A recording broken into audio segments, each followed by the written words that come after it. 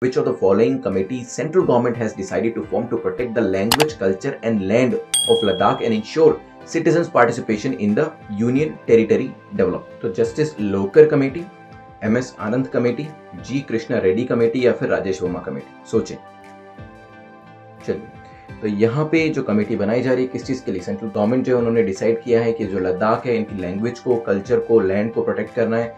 इसके लिए जी कृष्णा रेड्डी कमेटी जो है, उसको बनाया जा रहा है। Committee will be headed by minister of state for home mister G Krishna Reddy चलिए, ध्यान रखिएगा C is the correct answer चलते